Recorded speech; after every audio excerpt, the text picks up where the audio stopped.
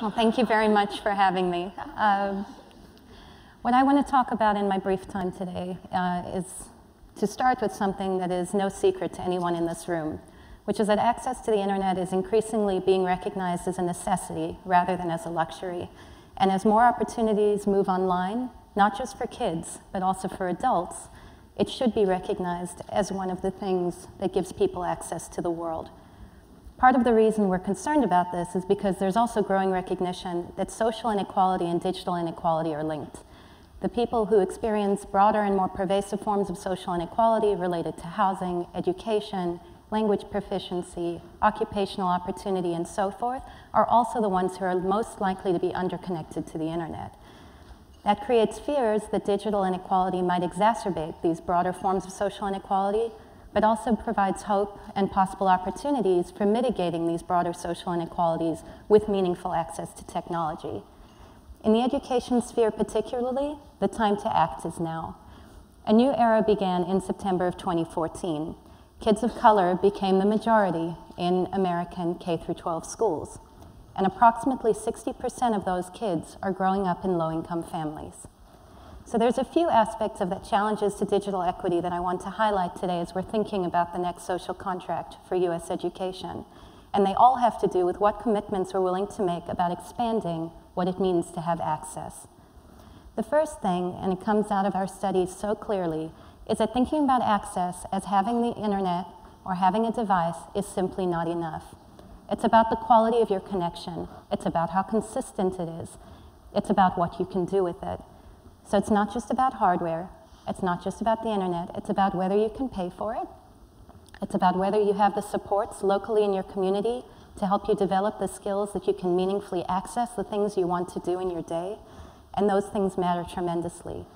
One thing I want to raise for our conversation is that there's a difference between mobile only access and access on a laptop or a desktop. I'd like everybody in this room to consider the following, which is something that came out of our interviews over and over again. Imagine being in seventh grade and having to do research for a school project on the Hippocratic Oath on a smartphone. You do all your research on mom's phone, now you have to type it up on the smartphone and submit it. That is not equitable access compared with somebody who has access on a desktop or a laptop. So for our lower income families, for families of color who are disproportionately connected through mobile devices, that is not mission accomplished.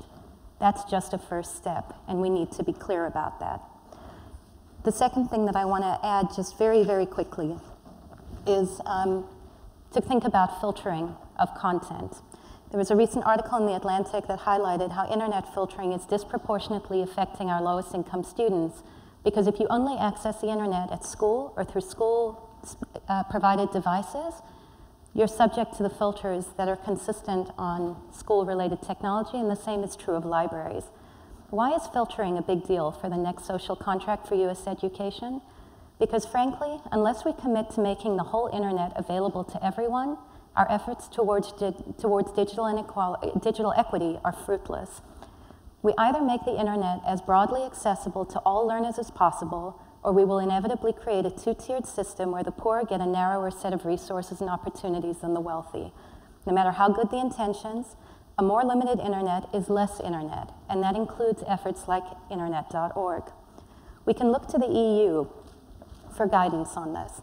Researchers there have focused on children and media and helped to shape a policy agenda for protecting children from harm, which is what filters are intended to do. But harm is a narrower conception of online uh, threat than risk.